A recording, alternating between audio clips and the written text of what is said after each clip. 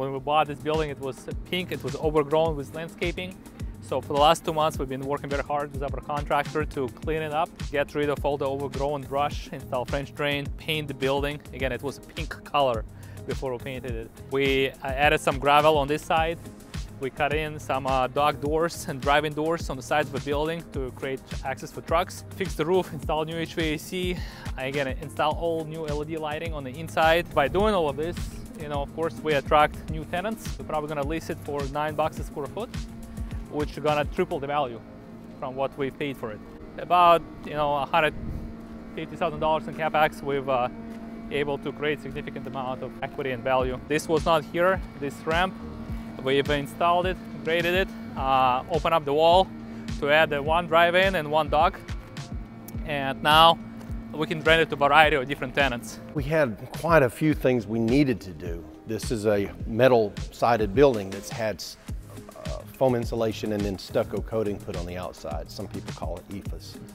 It was not in good condition. We had to point all of that up and do quite a bit of repairs there.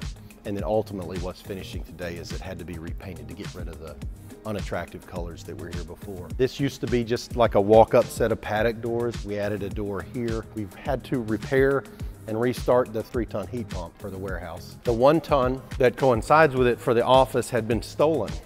So we had to replace that, that was done. All the electrical in this building is essentially new because it wasn't wired right.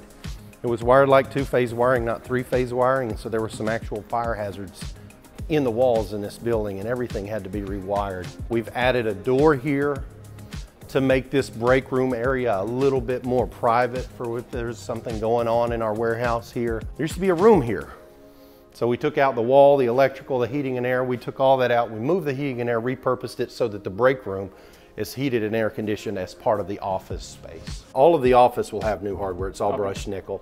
And then the, the, the, the bathrooms and the break room off the warehouse will have existing hardware. The concrete has been refinished. Yeah, this had glue, tile mastic, and paint on it. It took a, a $5,000 concrete refinishing machine in 14 and a half hours to do this. But this is ready for anything that needs to go down based on the tenant's desire, from carpet to tile, LVP, VCT, or even just a concrete stain. This is ready to go. We took down the panels, we added sheetrock instead. Yeah, replaced the ceiling grid, replaced all the lights with LED.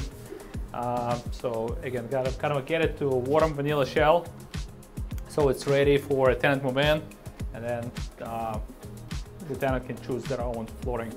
But that's what we see demand right now in the flex. The, the, most properties that are seem to be highest in demand is a couple offices in the front, which here we got three offices, the bathroom and the kitchen, a break room, and then a warehouse in the back. So maybe just a small 1,000 square feet office, and then you know the rest of the space is warehouse.